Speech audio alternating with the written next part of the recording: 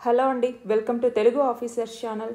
ఇవాళ మనం సెప్టెంబర్ పదవ తేదీకి సంబంధించిన కరెంట్ అఫైర్స్ గురించి చూద్దాం. ఇవాళ మన ఫస్ట్ ఆర్టికల్ చూడండి జీ ట్వంటీకి సంబంధించి. ఈ జీ ట్వంటీ శిఖరాగ్ర సదస్సు ఇప్పుడు మన భారతదేశంలో జరుగుతోంది. అంటే మన భారతదేశం దీనికి అధ్యక్షత వహిస్తుంది. ఎక్కడ జరుగుతోంది ఈ శిఖరాగ్ర సదస్సు? ఢిల్లీలో ఉన్నటువంటి ప్రగతి మైదాన్లోని భారత్ మండపంలో జరుగుతోంది. అయితే ఈ జీ ట్వంటీ సదస్సులో భాగంగా నాలుగు దేశాలు అంతర్జాతీయ ఆర్థిక సహకార ప్రధాన వేదికగా ఈ జీ ట్వంటీని తీర్చిదిద్దుతాము అన్నట్టుగా ప్రకటన చేయటం జరిగింది. ఏంటి ఆ నాలుగు దేశాలు?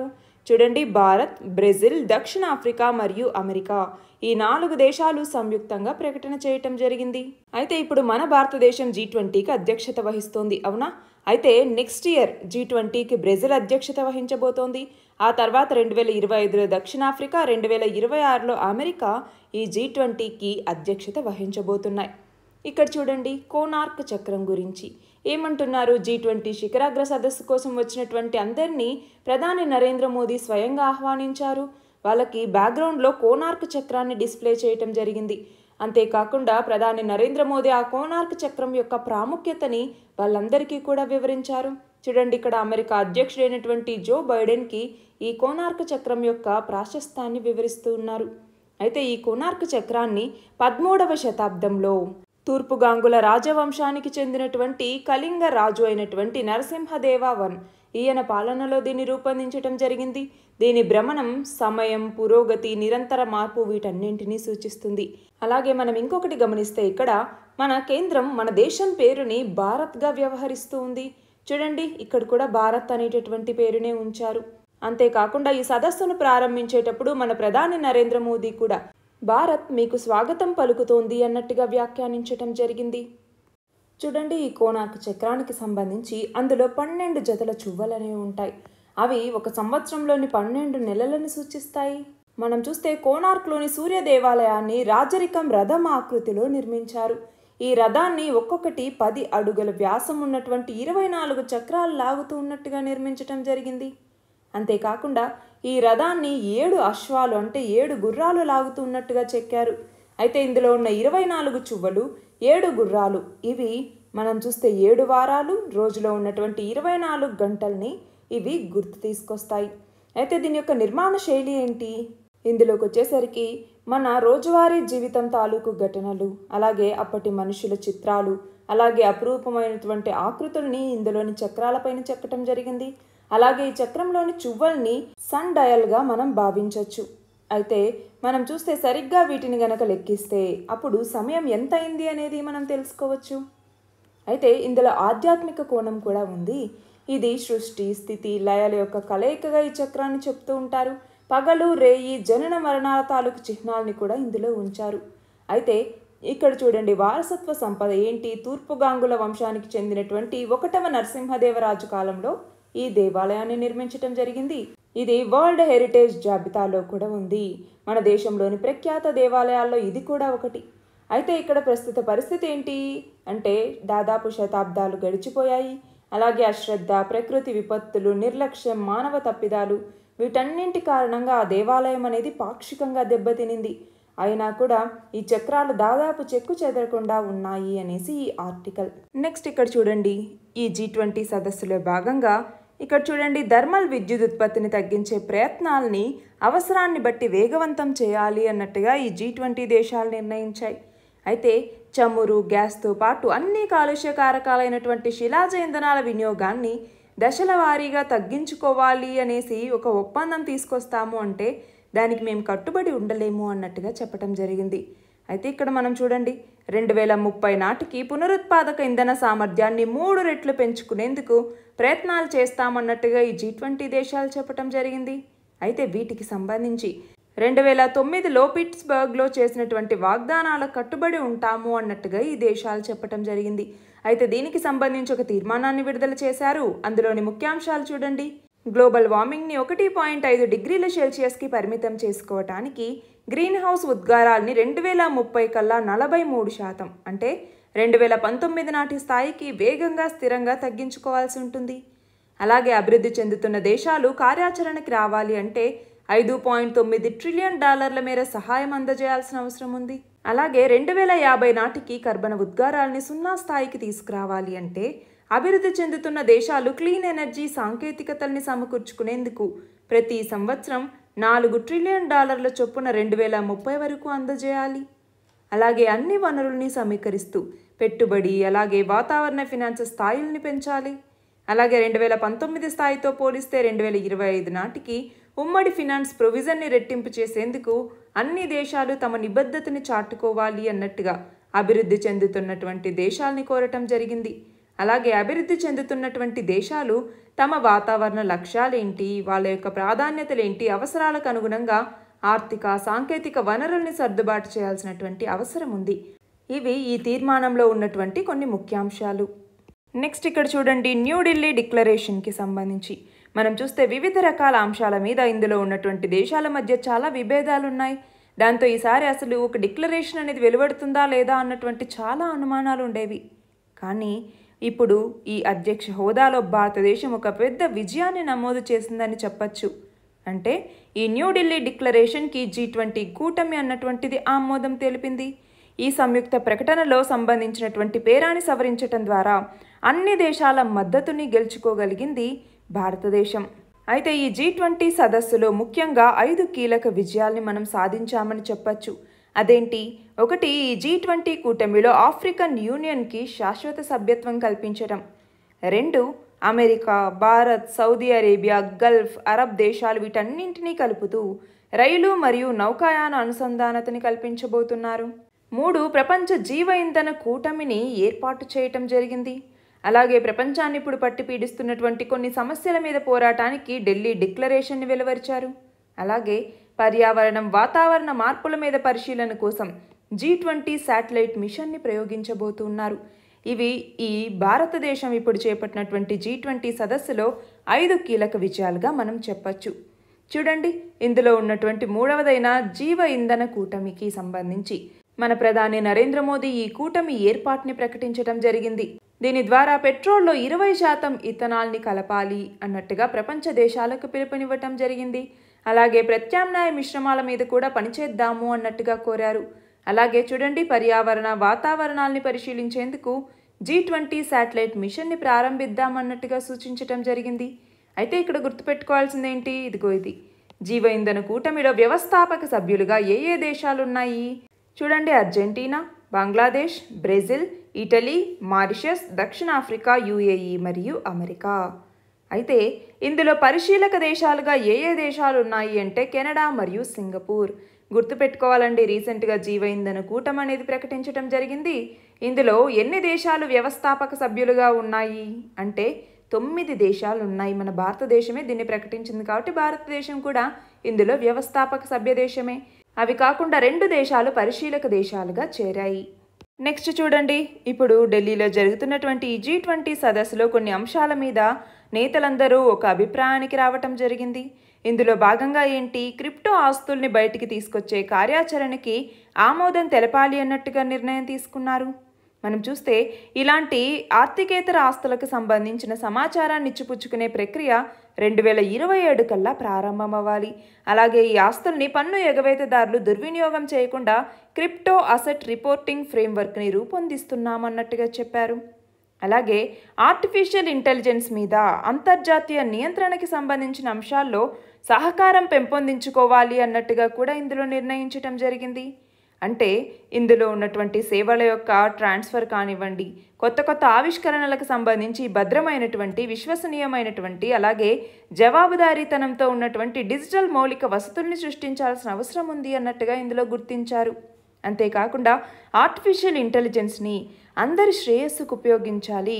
దీని ద్వారా డిజిటల్ ఆర్థిక వ్యవస్థ భద్రతని మెరుగుపరచాలి.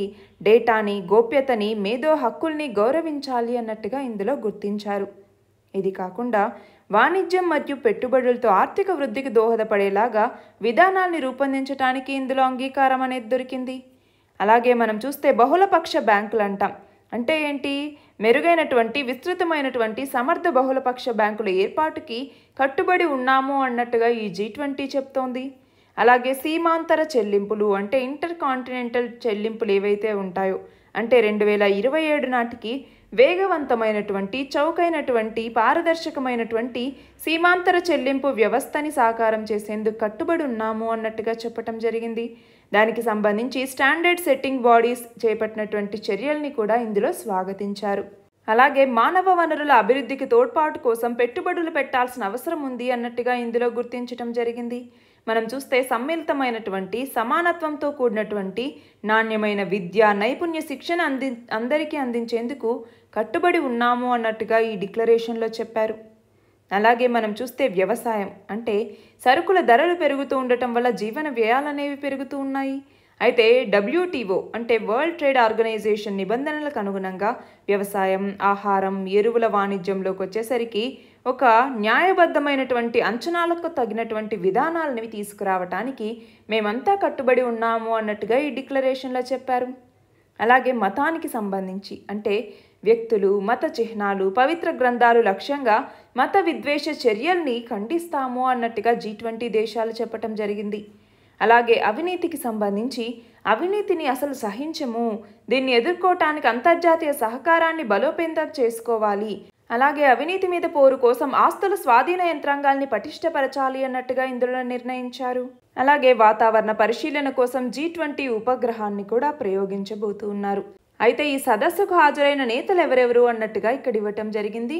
చూడండి ఈ జీ ట్వంటీ డిక్లరేషన్లో మనం చూస్తే ఇటు రష్యా చైనాలతోనూ మనం ఫలవంతమైనటువంటి చర్చలు చేయటం జరిగింది. దాని ద్వారా ఢిల్లీ డిక్లరేషన్ అన్నటువంటిది ఇప్పుడు వెలువడింది.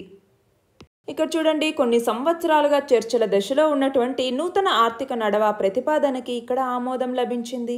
ఇందులో భాగంగా మన భారతదేశం నుంచి ఐరోపాను అనుసంధానం చేసేటటువంటి భారత్ పశ్చిమాసియా తూర్పు ఐరోపాలో అనుసంధానం లక్ష్యంగా ఈ ఐరోపా ఆర్థిక నడవ ప్రణాళికని భారత్ అమెరికాతో సహా కొన్ని దేశాలు ఆవిష్కరించడం జరిగింది. మనం చూస్తే ఇది బెల్ట్ అండ్ రోడ్ ఇనిషియేటివ్ ప్రాజెక్ట్కి ప్రత్యామ్నాయంగా చెప్తూ ఉన్నారు. అయితే ఈ ప్రాజెక్ట్ని America Bharatadesam Saudi Arabia UAE France Germany Italy అలాగే యూరోపియన్ యూనియన్కి సంబంధించినటువంటి నేతలందరూ కలిసి దీన్ని ప్రకటించడం జరిగింది. అంతేకాకుండా దీన్ని అందుబాటులోకి తీసుకురావటం కోసం తీసుకొచ్చినటువంటి అవగాహన ఒప్పందం మీద కూడా వీళ్ళంతా సంతకం చేయటం జరిగింది. అలాగే చూడండి జీ ట్వంటీలో ఇప్పుడు ఆఫ్రికన్ యూనియన్ అన్నటువంటిది చేరబోతోంది. దీనికి శాశ్వత సభ్యత్వం కల్పిస్తూ నిర్ణయం తీసుకున్నారు. అయితే దీన్ని ప్రతిపాదించింది ఎవరు అంటే మన ప్రధాని నరేంద్ర మోదీ. అయితే మనం చూస్తే పంతొమ్మిది వందల తొంభై తొమ్మిదిలో ఈ జీ ట్వంటీ ఆవిర్భవించిన తర్వాత ఈ జీ ట్వంటీ కూటమిని విస్తరించటం అన్నటువంటిది ఇదే మొదటిసారి. అయితే ఆఫ్రికన్ యూనియన్ని జీ ట్వంటీలోకి చేర్చుకోవటం ద్వారా ప్రపంచంలోనే అతిపెద్ద స్వేచ్ఛా వాణిజ్యానికి కేంద్రంగా ఈ జీ ట్వంటీ వన్ అన్నటువంటిది ఇప్పుడు ఆవిర్భవించింది. అంటే జీ ట్వంటీ కాస్త జీ ట్వంటీ వన్ అయింది. అయితే వాతావరణ మార్పులను ఎదుర్కోవటంలో ప్రపంచానికి అవసరమైనటువంటి వనరులు ఈ ఆఫ్రికా దేశంలో పుష్కలంగా ఉన్నాయి. మనం చూస్తే ప్రపంచంలో అరవై శాతం పునరుత్పాదక ఇంధన వనరులు ఆఫ్రికా ఖండంలో ఉన్నాయి. అలాగే ముప్పై శాతానికి పైగా ఖనిజాలు ఆఫ్రికా ఖండంలో ఉన్నాయి. లిథియం అయాన్ బ్యాటరీల తయారీలో కీలకమైనటువంటి కోబాల్ట్ ఖనిజంలో సగానికి పైగా వాటా ఒక్క కాంగోలోనే ఉంది. కాంగో అన్నటువంటిది ఆఫ్రికాకి చెందినటువంటి దేశం. అయితే ఇక్కడ మనం చూస్తే ఐక్యరాజ్య సమితితో పాటు ఇతర అంతర్జాతీయ వేదికల్లో కూడా ప్రాతినిధ్యం కోసం ఆఫ్రికాలో ఉన్నటువంటి పశ్చిమ సహారా ప్రాంతం ఒత్తిడి తీసుకొస్తోంది. అంటే ప్రపంచ బ్యాంక్ లాంటి అంతర్జాతీయ ఆర్థిక వ్యవస్థల్లో కూడా సంస్కరణలు తీసుకురావాలి అన్నట్టుగా వాదిస్తోంది. అలాగే ఆఫ్రికా ఖండంలో అమెరికాతో పాటు ఐరోపా దేశాలు కూడా పెట్టుబడులకు ఆసక్తి చూపిస్తున్నాయి. చైనా అన్నటువంటిది ఇప్పటికీ ఆఫ్రికాకి అతిపెద్ద వాణిజ్య భాగస్వామిగా ఉంది. భారీ స్థాయిలో అక్కడ రుణాల్ని ఇస్తూ ఉంది రష్యా కూడా అక్కడి దేశాలకు ప్రధాన ఆయుధ సరఫరాదారుగా ఉంది. గల్ఫ్ దేశాలు కూడా ఆఫ్రికాలో భారీ స్థాయిలో పెట్టుబడులు పెడుతున్నాయి. తుర్కియే ఇంతకుముందు టర్కీ ఇప్పుడు తుర్కియే. తుర్కియేకి కూడా అతిపెద్ద సైనిక స్థావరం అక్కడ ఉన్నటువంటి సోమాలియాలో ఉంది. అలాగే ఇజ్రాయెల్ ఇరాన్ ఇవి కూడా ఆఫ్రికా ఖండంలో తమ భాగస్వాముల కోసం అన్వేషణలో ఉన్నాయి. మనం చూస్తే యుద్ధం ఉగ్రవాదం ఆకలి విపత్తుల బాధిత ఖండంగా ఆఫ్రికాని కొంతమంది చిత్రీకరిస్తూ ఉన్నారు. దాన్ని అక్కడున్నటువంటి వాళ్ళు వ్యతిరేకిస్తున్నారు. అయితే కొన్ని దేశాలు మాత్రం ఆఫ్రికాని మధ్యవర్తిగా ఉపయోగించుకుంటున్నాయి అనేటటువంటి ఒక వాదన కూడా ఉంది. అయితే ఇక్కడ మనం చూస్తే మన భారతదేశం ఇప్పుడు ఒకే భూమి ఒకే కుటుంబం ఒకే భవిష్యత్ అనే నినాదంతో ఈ సదస్సును నిర్వహిస్తోంది. అయితే అలాంటి ఈ సదస్సులో ఆఫ్రికన్ యూనియన్ శాశ్వత సభ్యత్వం పొందటం అనేది ఈ నినాదాన్ని సాకారం చేసినట్టు కనిపిస్తోంది అన్నట్టుగా కొంతమంది విశ్లేషకులు చెప్తున్నారు. చూడండి జీ ట్వంటీలో ఈ యాభై ఐదు సభ్య దేశాల ఆఫ్రికన్ యూనియన్ చేరటంతో ఐరోపా సమాఖ్య తర్వాత రెండవ అతిపెద్ద బహుళ దేశాల కూటమిగా ఈ జీ ట్వంటీ అన్నటువంటిది విస్తరించింది. అంటే ఇప్పుడు జీ ట్వంటీ కాస్త దేనిగా మారింది? జీ ట్వంటీ వన్గా మారింది. మనం చూస్తే జీ ట్వంటీ కూటమిలో ఇప్పటికీ ఆఫ్రికా ఖండం నుంచి ఒకే ఒక్క దేశం సభ్యదేశంగా ఉంది. ఏంటి ఆ దేశం? దక్షిణాఫ్రికా. మన నెక్స్ట్ ఆర్టికల్ చూడండి. అంతర్జాతీయ సహకార వ్యవస్థని ఏర్పాటు చేద్దాము అన్నట్టుగా మన ప్రధాని నరేంద్ర మోదీ పిలుపునివ్వటం జరిగింది. మనం చూస్తే ఇందులో ప్రధాని నరేంద్ర మోదీ మాట్లాడుతూ ప్రస్తుతం భారత్లోని ప్రతి రంగంలో మహిళల యొక్క నాయకత్వాన్ని మేము ఆహ్వానిస్తూ ఉన్నాము. భారతదేశంలో సైన్స్ టెక్నాలజీ గణితం ఇంజనీరింగ్ గ్రాడ్యుయేట్లలో నలభై ఐదు శాతం మంది అమ్మాయిలే ఉన్నారు అన్నట్టుగా చెప్పటం జరిగింది. అంతేకాకుండా అభివృద్ధి చెందుతున్నటువంటి దేశాల్లో రుణ సంక్షోభాన్ని ఎదుర్కొనే చర్యల్ని వసుదైక కుటుంబం అనేటటువంటి నినాదంతో చేపట్టాలి అన్నట్టుగా సూచించటం జరిగింది. అలాగే రుణ సంక్షోభాన్ని ఎదుర్కొంటున్నటువంటి దేశాలకు ఆర్థిక సహాయం చేసేందుకు సంపన్న దేశాలు ముందుకు రావటాన్ని ఈయన ప్రశంసించటం జరిగింది. అయితే ఆర్థిక సహాయానికి సంబంధించి మూడు సూచనల్ని ప్రధాని నరేంద్ర మోదీ ఇచ్చారు. అవేంటి అంటే ఒకటి ప్రఖ్యాత క్రీడా లీగ్ పోటీల ఆదాయంలో ఐదు శాతాన్ని దక్షిణార్ధగోళంలో ఉన్నటువంటి దేశాల్లో క్రీడా సౌకర్యాల కల్పనకి వినియోగించాలి. అలాగే సైన్స్ టెక్నాలజీ రంగంలో నిపుణుల్ని ప్రోత్సహించేందుకు జీ ట్వంటీ టాలెంట్ వీసా కార్యక్రమం చేపట్టాలి. దానివల్ల వృత్తి నిపుణులు అంతర్జాతీయంగా అవకాశాలను అందుకుంటారు. అలాగే మనం చూస్తే అంతర్జాతీయ ఆరోగ్య సంస్థ ఆధ్వర్యంలో బయో బ్యాంకుల్ని ఏర్పాటు చేయాలి. ఇవి గుండె సికిల్ సెల్ అనీమియా రొమ్ము క్యాన్సర్ ఇలాంటి వ్యాధుల మీద దృష్టి సారించాలి అన్నట్టుగా ఈ మూడు సూచనల్ని కూడా ప్రధాని ఇవ్వటం జరిగింది.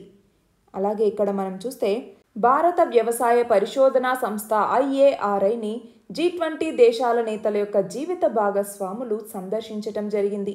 అక్కడ కేంద్ర వ్యవసాయ శాఖ ఏర్పాటు చేసినటువంటి ప్రదర్శనని ఈ జీ ట్వంటీ ప్రథమ మహిళందరూ కూడా వీక్షించటం జరిగింది. చిరుధాన్యాలతో వంటకాల ప్రదర్శన పదహైదు వ్యవసాయ అంకుర సంస్థల యొక్క ఆవిష్కరణలు వ్యవసాయ ఉత్పత్తిదారుల సంస్థల ప్రతినిధులు భారతీయ మహిళా సాగు రత్నాలు వీళ్ళందరితో భేటీల్ని ఇక్కడ నిర్వహించడం జరిగింది. మొత్తం గంట సేపు ఈ సందర్శన అనేది జరిగింది. అయితే ఇక్కడ మనం చూస్తే పదకొండు రాష్ట్రాలకు చెందినటువంటి ఇరవై మంది మహిళా రైతులతో సమావేశాన్ని నిర్వహించారు. అలాగే బాస్మతి బియ్యం రైతుల స్టాల్ ఇక్కడ ప్రత్యేక ఆకర్షణగా నిలిచింది. మన నెక్స్ట్ ఆర్టికల్ చూడండి. ఉత్తర ఆఫ్రికాలో ఉన్నటువంటి మొరాకోలో ఒక భూకంపం అనేది రావటం జరిగింది. రిక్టర్ స్కేలు మీద దాని యొక్క తీవ్రత ఆరు పాయింట్ ఎనిమిదిగా ఉంది. దీని తాకిడికి వెయ్యిన్ని ముప్పై ఏడు మంది చనిపోయారు. పన్నెండు వందలకు మందికి పైగా గాయపడ్డారు. అయితే ఈ గాయాల పాలైనటువంటి వాళ్ళలో ఏడు వందల ఇరవై మంది పరిస్థితి ఆందోళనకరంగా ఉంది. చూడండి భవనాలు అనేవి ధ్వంసమయ్యాయి. ముఖ్యంగా గ్రామాలకు గ్రామాలు ఇక్కడ ధ్వంసం అవ్వటం జరిగింది.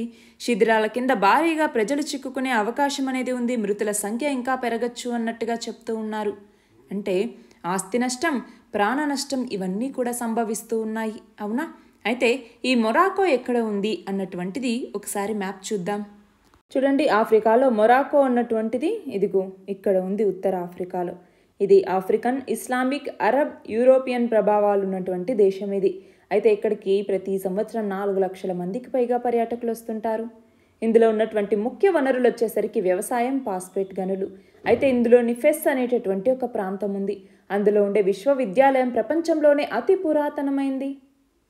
అయితే ఈ మొరాకోకి సంబంధించి రాజధాని ఏంటి? రబత్ అన్నటువంటిది. అందులో ఇక్కడ ఎనభై శాతానికి పైగా అరబ్బులు నివసిస్తూ ఉంటారు.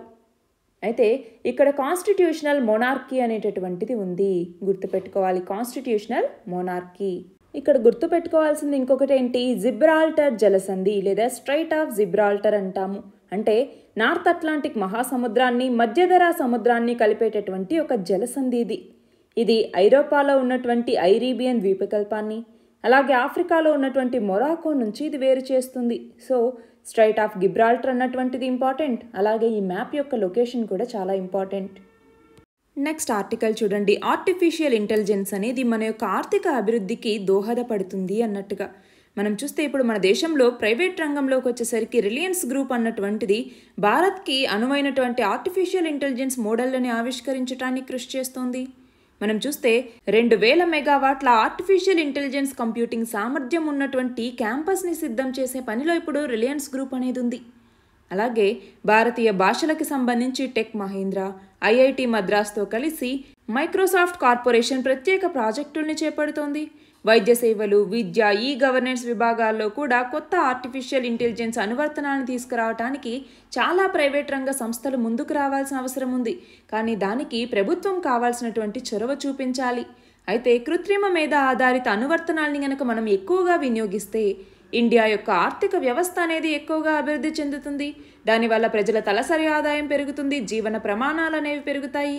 అంతేకాకుండా ఆర్టిఫిషియల్ ఇంటెలిజెన్స్ని మనం నేర పరిశోధనలోను వ్యాధుల యొక్క తీరుతెన్నులు ఎలా ఉన్నాయని గుర్తించడానికి వ్యాధుల తీవ్రతను గుర్తించడానికి ప్రభుత్వ పథకాల్లో లొసుగుల్ని నివారించడానికి వీటన్నింటికీ కూడా ఆర్టిఫిషియల్ ఇంటెలిజెన్స్ ఉపయోగపడుతుంది. అంతేకాకుండా క్యాన్సర్ని గుర్తించడం కోసం కూడా ఆర్టిఫిషియల్ ఇంటెలిజెన్స్ సాంకేతిక పరిజ్ఞానంతో సిటీ స్కాన్ వీడియో చిత్రాల్ని పరీక్షిస్తూ ఉన్నారు. సంక్షేమ పథకాల్ని దుర్వినియోగం చేసే వాళ్ళకి సంబంధించి కనుక్కోవటానికి నెదర్లాండ్స్ ప్రభుత్వం ఆర్టిఫిషియల్ ఇంటెలిజెన్స్ని వాడుతోంది. అయితే మన భారతదేశంలో ఈ కృత్రిమ మేధ అనేటటువంటిది ఇంకా ప్రాథమిక దశలోనే ఉంది. మనకి దీనివల్ల ఎన్నో అనుకూలతలు అనేవి ఉన్నాయి. అంటే మనము ఆర్టిఫిషియల్ ఇంటెలిజెన్స్ని అభివృద్ధి చేయటానికి వీలుగా జాతీయ ఆర్టిఫిషియల్ కంప్యూటింగ్ కేంద్రాన్ని ఏర్పాటు చేయాల్సిన అవసరం ఉంది అన్నట్టుగా రీసెంట్గా ఐబీఎం చైర్మన్ చెప్పటం జరిగింది. అయితే మన దేశంలో మానవ వనరుల లభ్యత అనేది బాగుంది. అయితే విద్యార్థికులైనటువంటి యువకులు అంకుర సంస్థలు నెలకొల్పి విభిన్న వస్తు సేవలను అందిస్తున్నారు. ఆర్టిఫిషియల్ ఇంటెలిజెన్స్లో వివిధ రకాల ప్రపంచ దేశాలకి మన భారతదేశం ఒక మార్గదర్శిగా నిలిచేందుకు ఇవన్నీ కూడా తోడ్పడతాయి. అయితే మనకున్నటువంటి అనుకూలతల్ని మనం వినియోగించుకుంటూ దీనికి సంబంధించినటువంటి సవాళ్ళను ఎదుర్కొంటూ ముందుకు వెళితే మన భారతదేశ ఆర్థిక వ్యవస్థకి ఈ కృత్రిమ మీద అన్నటువంటిది ఎంతో ఉపయోగపడుతుంది అనేసి ఈ ఆర్టికల్. మన నెక్స్ట్ ఆర్టికల్ చూడండి. ఇవాళ ప్రపంచ ఆత్మహత్యల నివారణ దినోత్సవం అంటే ఎప్పుడు జరుపుకుంటాం? ప్రతి సంవత్సరం సెప్టెంబర్ పదవ తేదీని. అయితే ప్రతి సంవత్సరం సుమారు ఏడు లక్షల మందికి పైగా ప్రపంచవ్యాప్తంగా ఈ ఆత్మహత్యలకు పాల్పడుతున్నారు. అందులోనూ పదహైదు నుంచి ఇరవై తొమ్మిది సంవత్సరాల మధ్య వయసు వాళ్ళ మరణాలకి నాలుగవ అతిపెద్ద కారణం ఈ ఆత్మహత్యే. అందులోనూ డెబ్బై ఏడు శాతం బలవన్మరణాలు పేద మధ్య ఆదాయ దేశాల్లోనే ఉన్నాయి. అయితే ఈ ఆత్మహత్యలకు గల కారణాలు ఏంటి అని చూస్తే ఒకటి కుటుంబ కలహాలు రెండు దీర్ఘకాలిక జబ్బులు మూడు మత్తు పదార్థాలకి బానిసలవ్వటం నాలుగు గృహహింస ఐదు ప్రేమలో ఫెయిల్ అవ్వటం ఆరు వ్యాపారం అలాగే ఏడు వ్యవసాయంలో నష్టాలు రావటం నిరుద్యోగం మానసిక సమస్యలు వీటన్నింటి వల్ల ప్రజలు ఆత్మహత్యలకి పాల్పడుతున్నారు. అంతేకాకుండా ఉద్యోగ జీవితంలో సవాళ్ళు ఎదురవటే వాటిని తట్టుకోలేకపోవటం పేదరికం పరీక్షల్లో ఫెయిల్ అవ్వటం మార్కుల్లో వెనుకబడటం సంఘంలో పరువు ప్రతిష్టలు దెబ్బతినడం అక్రమ సంబంధాలు అలాగే నపుంసకత్వం పిల్లలు పుట్టకపోవటం దాంపత్య సమస్యలు వీటన్నింటి వల్ల కూడా బలవన్మరణాలు అనేవి మన దేశంలో జరుగుతున్నాయి. మన దేశంలోనే కాదు ప్రపంచంలో కూడా. అయితే జాతీయ నేర గణాంక సంస్థ ఎన్సీఆర్బి లెక్కల ప్రకారం చూస్తే మన భారతదేశంలో రెండు వేల ఇరవై ఒకటిలో ఒకటి పాయింట్ ఆరు నాలుగు లక్షల మంది ఇలా బలవన్మరణాలకు పాల్పడ్డారు. అంతకుముందు సంవత్సరంతో పోలిస్తే దాదాపు ఇవి పదకొండు వేలు ఎక్కువ. అయితే ఇందులో ముప్పై మూడు శాతం ఆత్మహత్యలకి కుటుంబ కలహాలే కారణం. ఆ తర్వాత అనారోగ్యం ఆ తర్వాత మత్తు పదార్థాలకి బానిసవ్వటం ఆ తర్వాత వైవాహిక సమస్యలు ఉన్నాయి. అయితే ఇక్కడ ఏం చెప్తున్నారు అంటే ఇలా ఆత్మహత్య ఆలోచనలు ఉన్న వాళ్ళని కుటుంబ సభ్యులు మిత్రులు ముందుగానే గుర్తించవచ్చు వాళ్ళు ఎక్కువ ఆత్మహత్య గురించి మాట్లాడుతుండటం నిరాశగా ఉండటం జీవితం మీద ఆసక్తి లేనట్టుగా ఉండటం అంటే అలాంటి పరిస్థితుల్లో కొంతమంది మద్యాన్ని ఎక్కువ తీసుకుంటుంటారు మత్తు పదార్థాలకి అలవాటు పడతారు కొంతమంది నిద్రమాత్రలు పురుగుల మందు వాటిని సేకరించి పెట్టుకుంటారు. కాబట్టి అలాంటి వాళ్ళ విషయంలో కుటుంబ సభ్యులు స్నేహితులు ఆత్మీయులు వీళ్ళంతా అప్రమత్తంగా ఉండాలి. మానసిక వైద్య నిపుణుడి దగ్గరికి తీసుకెళ్ళి వాళ్ళకి కౌన్సిలింగ్ ఇప్పించాల్సినటువంటి అవసరం అనేది ఉంది. భారత ప్రభుత్వం కూడా సమగ్ర మానసిక ఆరోగ్య సేవలు అందించడం కోసం టెలి మానస అనే కార్యక్రమాన్ని ప్రారంభించింది. దాని ద్వారా దేశంలో ఉన్నటువంటి మానసిక వైద్యుల్ని సంప్రదించి ఉచిత సలహాలు సూచనలు అందుకోవచ్చు. అయితే ఇక్కడ మనం ఏంటి నైరాశ్య భావన ఏదైతే ఉంటుందో దాన్ని మనసు నుంచి పారదోలి ఆత్మస్థైర్యాన్ని పెంచుకుంటే ఈ బలవన్మరణాల ఆలోచన నుంచి మనం బయటపడచ్చు అన్నట్టుగా ఈ ఆర్టికల్. అయితే సూసైడ్ని ప్రివెంట్ చేయడానికి కొన్ని స్ట్రాటజీస్ని వాడచ్చు. అవి ఏంటి? ఒకటి ఎకనామిక్ సపోర్ట్ని అందించటం. అలాగే సూసైడల్ కేర్ని అందించటం. ప్రొటెక్టివ్ ఎన్విరాన్మెంట్ని క్రియేట్ చేయటం. అలాగే వాళ్ళకి కనెక్టెడ్నెస్ని ప్రమోట్ చేయటం. అంటే మేము ఉన్నాము అన్నట్టుగా వాళ్ళని మిగతా వాళ్ళతో కలిసి ఉండేలాగా ప్రోత్సహించటం. అలాగే ప్రాబ్లమ్ సాల్వింగ్ స్కిల్స్ని నేర్పించడం సపోర్ట్ని అందించటం అలాగే ఫ్యూచర్లో కూడా అలాంటి రిస్కులు లేకుండా వాటిని తగ్గించటం లాంటివి ఈ- ఈ సూసైడ్స్ని ప్రివెంట్ చేయడానికి కొన్ని స్ట్రాటజీస్గా చెప్తాము. మన నెక్స్ట్ ఆర్టికల్ చూడండి. తెలంగాణ భాషా దినోత్సవం ఎప్పుడు జరుపుకున్నాము? సెప్టెంబర్ తొమ్మిదవ తేదీన. ఎందుకని? అంటే ప్రజాకవి అయినటువంటి కాలోజీ జయంతి సందర్భంగా మనం తెలంగాణ భాషా దినోత్సవంగా జరుపుకుంటున్నాం. అయితే ఈసారి కాళోజీ నారాయణరావు గారి యొక్క నూట తొమ్మిదవ జయంతి. ఆ సందర్భంగా మనం నిన్నటి రోజుని తెలంగాణ భాషా దినోత్సవంగా జరుపుకున్నాం. అందులో భాగంగా కవి జయరాజ్కి కాళోజీ నారాయణరావు పురస్కారాన్ని అందించటం జరిగింది. దీంతో పాటు లక్ష వెయ్యిన్ని నూట పదహారు రూపాయల నగదు జ్ఞాపికని కూడా ప్రదానం చేశారు. దానికి సంబంధించిన ఆర్టికల్ ఇది. అలాగే ఇక్కడ చూడండి తెలంగాణ రాష్ట్ర పరిశ్రమల శాఖ మంత్రి ఏం చెప్తూ ఉన్నారు? నేతన్నలకి అన్ని విధాలా చేయూతనిస్తూ ఉన్నాము. రాష్ట్ర వ్యాప్తంగా ఉన్న చేనేత కళాకారుల ఖాతాల్లో రెండు వేల రూపాయల చొప్పున అనుబంధ కార్మికులకైతే ఐదు వందల రూపాయల చొప్పున ఆర్థిక సహాయం అనేది లభించింది. అలాగే నేతన్నకు బీమా అనే పథకంలో వయో పరిమితిని డెబ్బై ఐదు సంవత్సరాలకు పెంచటం వల్ల వృద్ధ కళాకారులకి మేలు కలిగింది. అంతేకాకుండా ఏ కారణం వల్లైనా కూడా చేనేత కార్మికుడు చనిపోతే వాళ్ళ కుటుంబ సభ్యులకి ఐదు లక్షల రూపాయల సహాయాన్ని అందిస్తారు. అలాగే నేతన్నలకి ఆరోగ్యశ్రీ కింద ప్రతి సంవత్సరం ఇరవై ఐదు వేల రూపాయల వరకు ఓపీలో ఆరోగ్య సేవలు అందుతూ ఉన్నాయి అన్నట్టుగా చెప్పటం జరిగింది.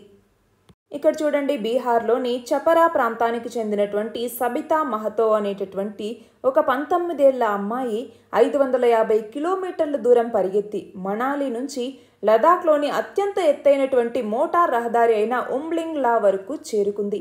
దాని ద్వారా ప్రపంచ రికార్డ్ అనేటటువంటిది సాధించింది. నెక్స్ట్ చూడండి మన ప్రధాని నరేంద్ర మోదీ ఆసియాన్ ఇండియా సమ్మిట్లో పాల్గొనటం జరిగింది. అయితే ఇందులో ప్రధాని నరేంద్ర మోదీ పన్నెండు పాయింట్ల ప్రపోజల్ని తీసుకురావటం జరిగింది. దేనికి సంబంధించి? ఇండియా మరియు ఏషియాన్ మధ్య కనెక్టివిటీ డిజిటల్ ట్రాన్స్ఫర్మేషన్ ట్రేడ్ మరియు ఎకనామిక్ ఎంగేజ్మెంట్కి సంబంధించి రెండింటికి మధ్య బంధాన్ని బలోపేతం చేయటానికి సంబంధించి. దీని గురించి ఆల్రెడీ మనం నిన్న న్యూస్లోనే చదువుకున్నామండి. నెక్స్ట్ ఇక్కడ చూడండి పోస్టల్ డిపార్ట్మెంట్ అన్నటువంటిది ఒక ఎక్స్పోర్ట్ ఎకో సిస్టమ్ని ఈ కామర్స్కి సంబంధించి క్రియేట్ చేయబోతోంది. దీనికి సంబంధించి big food retail solution private లిమిటెడ్తో ఒక అగ్రిమెంట్ని కూడా చేసుకోవటం జరిగింది. దీని ద్వారా ఈ కామర్స్ ఎక్స్పోర్ట్స్ అనేవి పెరుగుతాయి. నెక్స్ట్ చూడండి తెలుగు భాషా దినోత్సవాన్ని ఏ రోజున నిర్వహిస్తారు అంటే ఆగస్టు ఇరవై తొమ్మిది. ఎందుకని అంటే గిడుగు రామూర్తి పంతులు యొక్క జయంతిని మనం తెలుగు భాషా దినోత్సవంగా నిర్వహిస్తున్నాము. అలా రెండు వేల ఇరవై మూడులో నూట అరవైవ జయంతిని నిర్వహించారు. నెక్స్ట్ చూడండి తలసరి రాబడి లెక్కల ప్రాతిపదికన జీ ట్వంటీ కూటమిలో అత్యంత పేదరిక దేశం ఏది అంటే భారతదేశమే. మనం చూస్తే ఈ సంవత్సరం మొదట్లో వెలుగు చూసినటువంటి ఆక్స్ఫామ్ అధ్యయనాల ప్రకారం ఐదు శాతం జనాభా చేతుల్లో అరవై శాతానికి పైగా మన భారతదేశ సంపద అనేది పోగుపడి ఉంది. రెండు వేల పద్దెనిమిదిలో పంతొమ్మిది కోట్లుగా ఆకలి బాధన పడినటువంటి వాళ్ళుంటే రెండు వేల ఇరవై రెండు నాటికి అది ముప్పై ఐదు కోట్లకు చేరింది అన్నట్టుగా ఆక్స్ఫామ్ నివేదిక చెప్తోంది. ఇక్కడ చూడండి ప్రపంచ వాణిజ్య సంస్థ లేదా వరల్డ్ ట్రేడ్ ఆర్గనైజేషన్ నిబంధనల ప్రకారం అమెరికా తన బాధ్యతల్ని నెరవేరుస్తున్నటువంటి తీరు మీద ఏ దేశ వాణిజ్య మంత్రిత్వ శాఖ ఒక నివేదికని విడుదల చేసింది అంటే చైనా. మనం చూస్తే అరవై ఐదు పేజీల నివేదిక ఇది. అందులో దాదాపు రెండు వందల పది డాక్యుమెంట్లను గురించి చెప్తూ బహుళపక్ష వాణిజ్య వ్యవస్థని బలహీనపరిచే అమెరికా యొక్క విధాన చర్యల మీద చైనా ఆందోళన వ్యక్తం చేయటం జరిగింది. నెక్స్ట్ ఇక్కడ చూడండి ఎస్బీఐ కార్డ్ అన్నటువంటిది simply save merchant SBI card అన్నటువంటి దాన్ని లాంచ్ చేయటం జరిగింది. ఎవరికి సంబంధించి అంటే ఎంఎస్ఎంఈస్కి సంబంధించి. ఇందులో ఏంటి అంటే వాళ్ళకి షార్ట్ టర్మ్ క్రెడిట్ ఆప్షన్స్ అనేవి ఉంటాయి ఇంకొన్ని బెనిఫిట్స్ కూడా ఉంటాయన్నమాట. నెక్స్ట్ చూడండి national payments corporation of India NPCI అన్నటువంటిది రెండు కాన్వర్జేషనల్ పేమెంట్స్ ఇనిషియేటివ్స్ని స్టార్ట్ చేసింది. వాటి పేరు హలో యూపీఐ అలాగే భారత్ బిల్ పే కనెక్ట్ అన్నటువంటిది. అయితే ఈ హలో యూపీఐ అన్నటువంటిది ఏంటి కన్వర్జేషన్ ద్వారా పేమెంట్స్ చేసుకోవటానికి వాళ్ళ యొక్క స్మార్ట్ ఫోన్ నుంచే పేమెంట్స్ చేసుకోవటానికి ఉపయోగపడుతుంది. అలాగే భారత్ బిల్ పే కనెక్ట్ అన్నటువంటిది ఏంటి అంటే వాళ్ళ బిల్స్ని న్యాచురల్ కన్జర్వేషన్స్ ద్వారా వాయిస్ అసిస్టెంట్స్ ద్వారా ఫర్ ఎగ్జాంపుల్ అలెక్సా కానివ్వండి స్మార్ట్ ఫోన్స్ లేదా మర్చెంట్ సౌండ్ బాక్సెస్ వీటన్నింటి నుంచి పేమెంట్ చేయడానికి ఇది వీలు కల్పిస్తుంది. ఇవి వాళ్ళ ఇంపార్టెంట్ ఆర్టికల్స్ ఈ వీడియోకి సంబంధించినటువంటి పీడిఎఫ్ లింక్ని డిస్క్రిప్షన్లో ఇవ్వటం జరుగుతుంది. అలాగే మన టెలిగ్రామ్ ఛానల్లో కూడా అప్లోడ్ చేయటం జరుగుతుంది. All the very best and thank you very much